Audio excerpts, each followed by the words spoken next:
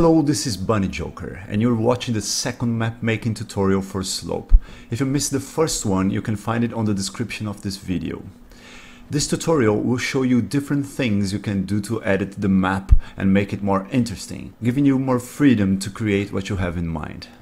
First of all, on this main screen, you'll be able to see the maps uh, you just worked on.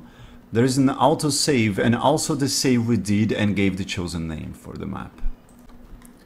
If you open the file manager over here, you can see the projects you saved, you can create folders, use filters for types of objects. Those are very good for you to organize your stuff. Okay, so going back to the main screen, I will select the last saved project here on the left by clicking the right trigger. We are back to the creation we did on the first tutorial, and now I will teach things that are a little bit more advanced for you. So the first thing I will do is teach you how you can edit an object that was already created. One thing that maybe you even already tried to do with the surface tool is give a continuation to the slope you were creating. If you don't know how to edit the object, you will just create a continuation like this. This way of making a continuation will actually work. It's not a problem if they are two separate objects. Inside the game, both of them will have snow textures. The player will pass through this part and won't even notice. So this is something you can do. Create different paths for different directions like this. The only problem is that it becomes hard to refine some aspects of it. For example, you can see two big bumps here. If you zoom into this place, you will be able to see there is a gap between those shapes. If the player accidentally gets in here, he will be stuck so this isn't a smooth connection. But there is something you can do to resolve this kind of problem, which is what I'm going to show you right now. Let me just delete those and come back to our little project here. Okay, so the first thing you will need to know is how to edit objects. Let's begin making this tree taller. When you grab an object and while grabbing it, you can press the blue button on the left controller. The object will go back to its place and now the object is in an editable state. In the case of a cube, what you can do is grab one of those axes and drag it around to change its size. So I will grab the green axis and make it bigger so I can make this tree taller. When you're okay with the result, you just have to press the blue button again to confirm that you're done editing that object. Okay, so I will just put it up a little bit because when you edit the object like that, it grows to both sides. So I'll just leave this tree really big like this. So this is the type of editing you can do to this type of object, which is a cube. Now this other kind of object, which is the surface, the type of addition you can make to it is having access to its control points. Those are points that you can drag around and change position so you can edit the shape of the surface object. So for instance, if I take this control point and put it up and down, you will see the shape changing accordingly. I can change it any way I want. So let's say you want this bump to look more like a jump. I can put this control point here, move those other ones to make this shape of a kicker, and I will put them in a shape that makes sure this will look like a jump. Let's say you want to make this part of the slope not that wide. You can select several control points and move them closer. You can make this part more straight. Let's say that with those other two, I want to make a bump close to the tree. But those that make the jump put a little lower. So you see, you can make a lot of refining by editing those control points. So this is how you edit an object. By doing this, I didn't change the type of object I was editing. The surface was still a surface object. On the next tutorial, I will show you what you can do when you convert an object to a subdivision object. When you do this, you will have much more freedom to do whatever you want with the object you're editing. It's not hard and it's actually pretty cool. But for now, let's focus on the basic version of editing. So right here on the end of the slope, I can see that the surface is twisted. To fix this, I'll grab the surface, click the blue button, check how the control points are and change their position to make it straight. I'll finish by getting all those more organized. So for now, I'll just create another surface to represent the continuation of the slope. I'll create this big curve over here and we'll make it finish right here. So I'll grab the ending point and change it to this place. Let me show you again how I made it. The right controller kind of did most of the work going around the center and the left controller didn't move much.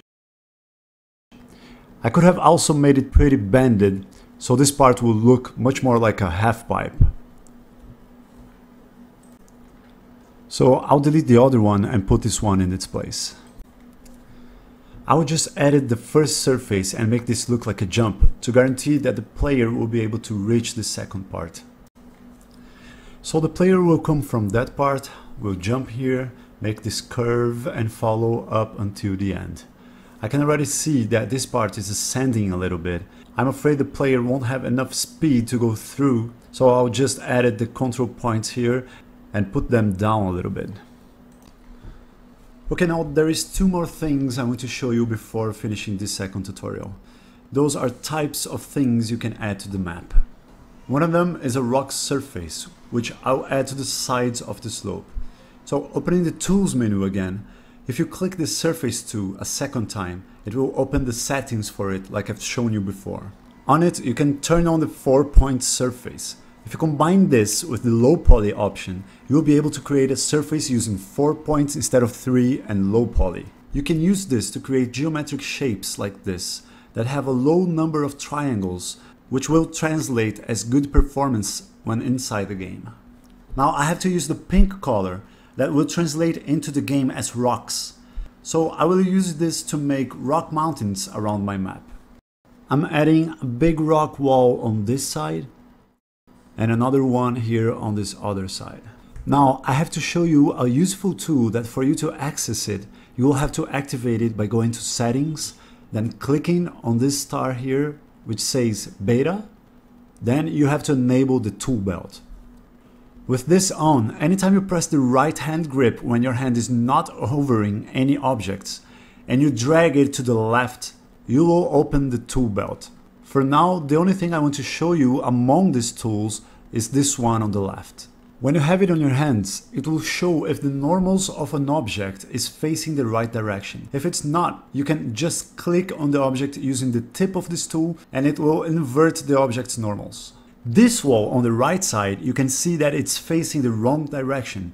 So I will hover it with the tool's tip and click on it to invert its normals. This is something that can happen when you're using the surface tool, so it's always good to check before exporting your map. So remember to just pick this tool up so you can see if everything is facing the right direction. So the last thing we're going to do before exporting and testing is to add a rail to this map. So I will open the tools menu and to make a rail I use the stroke tool. With it you can create very consistent lines like this which will have full control of its thickness. So the first thing I'm gonna do is grab the black color, which will translate inside the game as metal. Anything you paint black on your map will have the metal material, with the exception of the black cube, since colored cubes will have special functionalities like spawn point, end point and more special objects which I will show on future tutorials. If I put the right thumbstick left or right, I can choose the thickness of the rail I'll create. Since I know the player is about the size of that cube, I will use this thickness. I see there's a jump here, which is good to use as a kicker before the rail, making it easier for the player to land on it. So I'll make a rail that goes up here, continue straight forward a little, and then goes down. The only way to know if it's super hard is by testing it. Before considering it done, I will try to get rid of some non-intended curves. To do this, I'll just grab the rail and press the blue button on the left controller to edit its controls. I will delete some of them. So I'll start deleting the ones I don't need and putting three control points close to each other on the edges of the straight part of the rail. Now the rail has the intended shape I wanted. I hope this jump gives me a good pop to be able to land on it.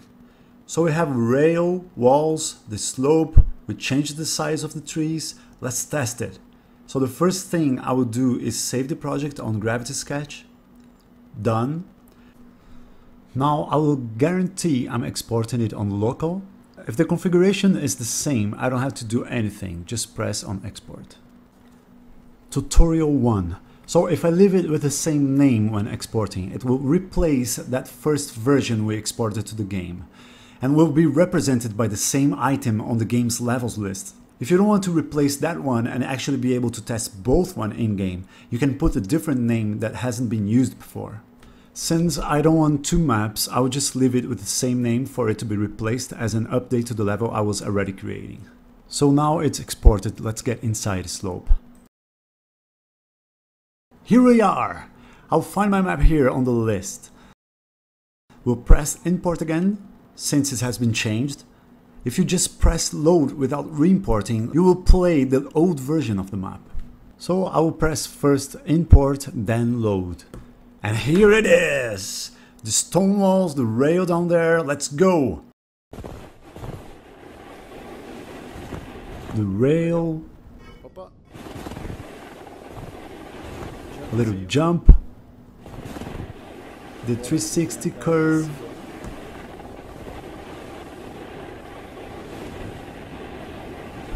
Let me try to grab a wall here. And I'll get into the end. You want, you can check how your map looks with different sun positions. Right now it's on a sunset back there. You can go down here on general options and press randomize daytime.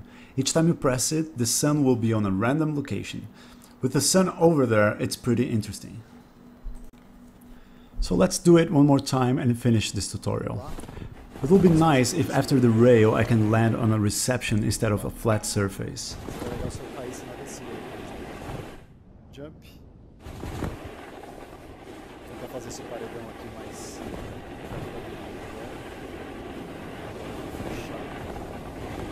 Let's ride the wall here again.